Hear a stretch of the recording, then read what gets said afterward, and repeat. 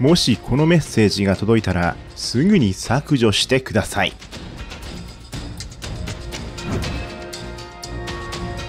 あなたの携帯電話には WhatsApp のアプリがありますか？もしそうならあなたは WhatsApp を通信手段としている180カ国に住む10億人の中の一人です。すべて無料で通話、メール、写真やビデオ、書類の送信などができてとても便利ですよね。だとすると詐欺師にとっても格好の餌ということになってしまいます。詐欺師たちは WhatsApp の利用者目当てに次々に悪質な不正行為を作り出します。例えばインターネットの詐欺行為ウイルスや迷惑メールなどがそれです。アプリを愛用し信頼している多くの利用者を騙すのは彼らにとっては容易なことです。私たちブライトサイドは皆さんにこのようなネット上の詐欺行為に引っかかってほしくないのです。そしてこの行為に歯止めをかけたいと思います。ぜひこのビデオを見るだけでなく友人や職場の人とも共有してください。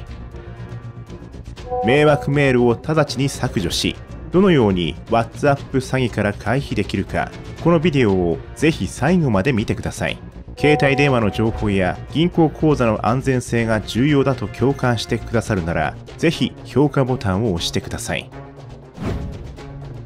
この10年間のうち WhatsApp の利用者は詐欺師の格好のターゲットとなりました。もしあなたが利用者だったら身に覚えがあるかもしれませんね。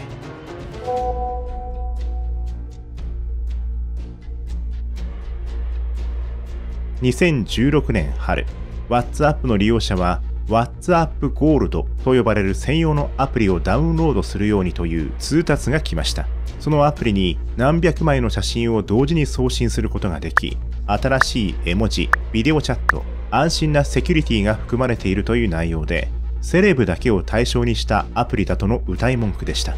この歌い文句に騙された人は携帯電話にマルウェアと呼ばれるウイルスをダウンロードしてしまいました。このマルウェアは個人情報を盗み出し個人の行動活動を追跡しました。その年の終わり頃詐欺師はイギリスの全国展開するスーパーセインズベリーが日本円で約1万5000円の商品券を無料で提供するというマルウェアに感染したメッセージを送信しました。そしてまた多くの携帯電話の個人情報が盗み出され追跡データ広告情報がダウンロードされました。ここでまず私たちが警告したいのはもし WhatsApp からメッセージが届いたら直ちに削除しメッセージに従わないようにしてください。こんなメッセージ身に覚えありますか？一字一句は違うとしても詐欺師のやろうとしていることは全く同じです。WhatsApp がお金を請求しているという意図これは完全に詐欺です。詐欺師はあなたが WhatsApp を好んで使用していることを知っています。そして少しのお金ならあなたが払うかもしれないと思っているのです。このようなメッセージが送られてきたらメッセージは直ちに削除し受信者を着信拒否してください。なぜ多くの人が騙されてしまうのでしょうか。WhatsApp を何年も前から愛用している人なら一昔は会員になるのに150円支払ったのを覚えていますよね。でも Facebook が WhatsApp を買収後2016年1月より WhatsApp の会員制は無料となりましたし当分変わることもありませんよ。なぜこのような迷惑メールは危険なのでしょうか。150円くらいなら損してもいいと思っているかもしれません。でも詐欺師はこの150円が欲しいわけではありません詐欺師は個人の銀行情報そして銀行口座にある全財産を狙っているのです。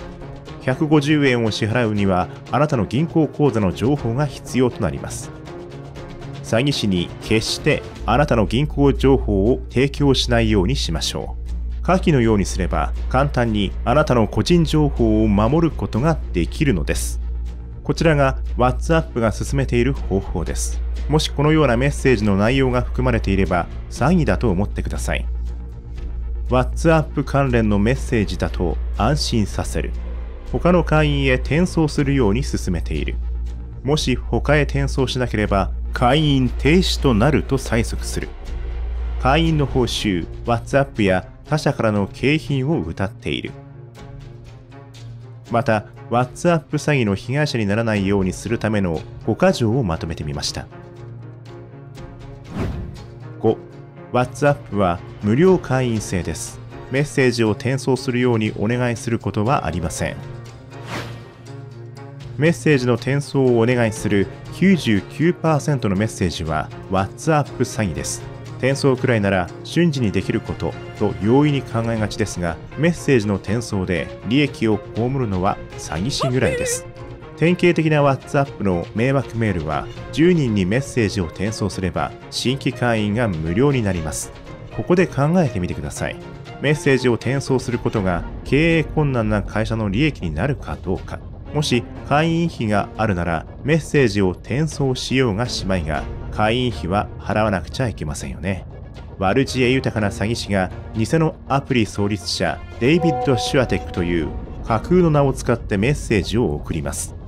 例えばあまりアプリを使っていない会員を新しい会員のために排除すると警告しもし10人にメッセージを転送すれば会員が無料のまままた新しいアプリのアイコンを青や赤に変えられることができるというメッセージを送りました。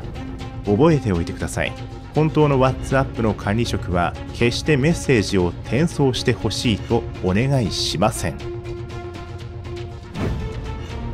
4決して転送された WhatsApp からのメッセージをクリックしないこと。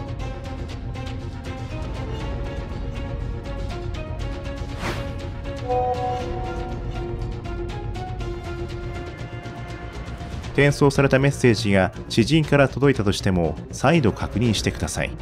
WhatsApp からのメッセージでお買い得な情報であっても覚えておいてください。詐欺師もその情報を知っているのです。ということは今度は詐欺師がその情報を使ってくる可能性があるのです。でも今回は迷惑メールではないかもと思ったあなた。それを確かめるには Google で検索してみましょう。正式な会社のウェブサイトもしくは電話をかけて確認しましょう。意外と同じようなデマが流れているかもしれませんよ。3 WhatsApp から公式なメッセージが届いたときは真相を確認しましょう。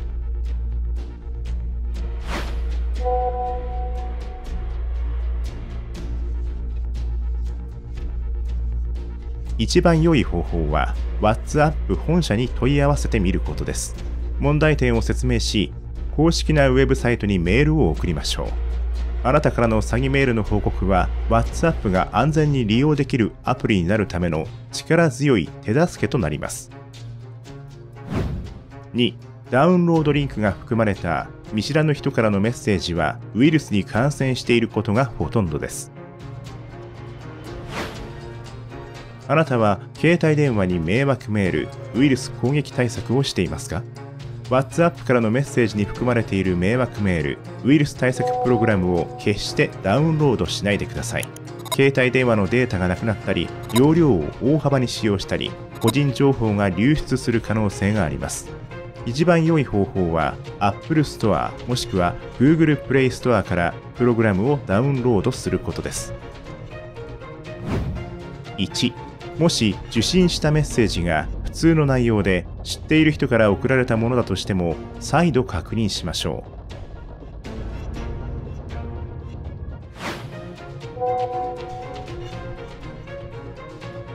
このご時世送信してきた本人に確認するよりメールの内容に書かれた通りにクリック転送する方が簡単でついやってしまいますよね。この考え方が詐欺を広めてしまうのです。なのでメッセージを信頼しクリックする前に本当に怪しいものでないのか送信者と話して確認してみましょう。WhatsApp は一番確実に安全な通信手段になる努力をしていますが詐欺師もまたこの手あの手を使ってきています。あなたにできることは詐欺の存在を把握しこのリスト通り注意を施すことです。そしてもしこのビデオに賛同するなら評価ボタンを押してください。安心してください。騙すつもりはありません。そしてブライトサイドのチャンネル登録をお願いします。